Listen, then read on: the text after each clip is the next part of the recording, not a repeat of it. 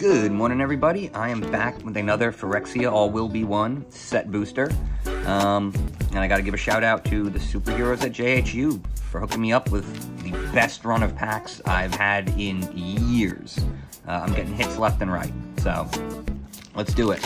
Uh, as of now, I've gotten hits in like 8 out of 13 packs or something. It's, it's a bonkers number. Okay, so let's see. We got Art Card, Skyscythe Engulfer. Not a fan of art cards.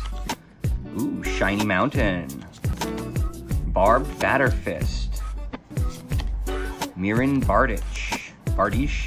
Bardish? I feel like I should know that. Okay. Latticeblade Mantis. Titanic Growth. Skyscythe Engulfer. Expand the Sphere. Venomous Brutalizer. Paladin of Predation.